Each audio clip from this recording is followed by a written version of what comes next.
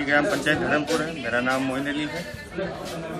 क्या हुआ हादसा आपके यहाँ भेड़िया का एक क्योंकि पास के जेल में बैठा भेड़िया है का शाम के टाइम जो है बच्चे अपने घर से निकल रहे थे टहल उस टाइम जो है सामने नदी है नदी के किनारे से वो आया उन पे हमला कर दिया। लगभग कितने बच्चे घायल हैं? चार पाँच लोग जो है घायल हो गए। और और आसपास की कोई महिला भी सुना है कि हर तरीके में जो है महिला की जो है गर्दन काट के उसकी मृत्यु हो गई।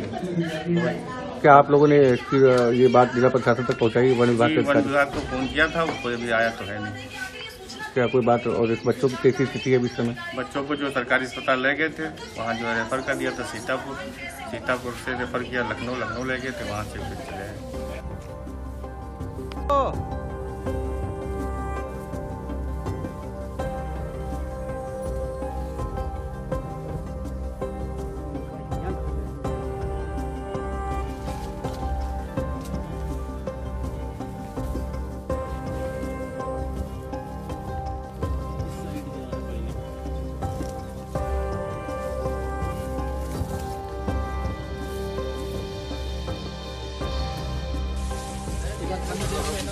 这个可以灭单，这个可。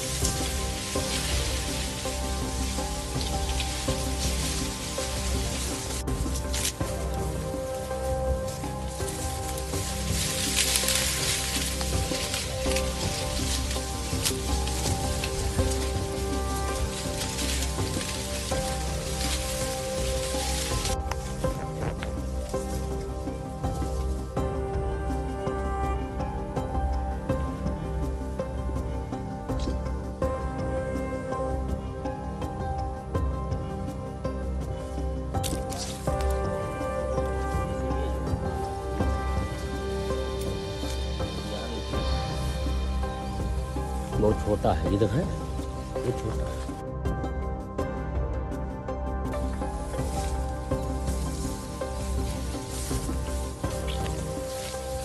तो लेडी की जो बूढ़ी अम्मा थी, वो अस्सी साल उनकी लगभग एज थी और गाँव के बाहर रहती थी। उनकी तीन दिन पहले शायद डेथ की सूचना है, सूचना जो हमें मिली है।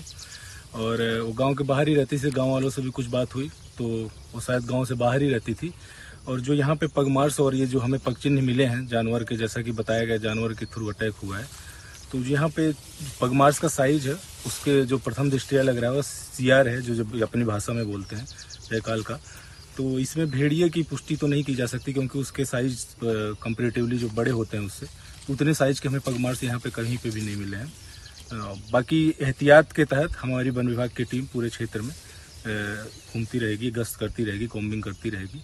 क्योंकि बगल के जिलों में ऐसी सूचना है तो हम एहतियात के तहत हमारे सारे रेंजों, जैसे बिस्वा रेंज लगती है, महमूदाबाद रेंज लगती है, वो सारे लोग एक्टिव रहेंगे।